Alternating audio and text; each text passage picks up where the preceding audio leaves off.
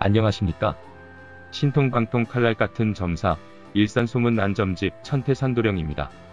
여러분께서는 얼마나 행복한 삶을 살고 계십니까? 귀하의 인생에서 노력을 해도 애를 써도 안 될 때는 운이 아닌 영적인 부분에서 분명히 이유가 있습니다. 여러분의 답답한 이유를 속 시원한 상담으로 풀어드리며 천태산도령에서 도와드리겠습니다. 자세한 상담 관련 문의사항은 전화 주시면 친절하게 상담해 드리겠습니다. 감사합니다.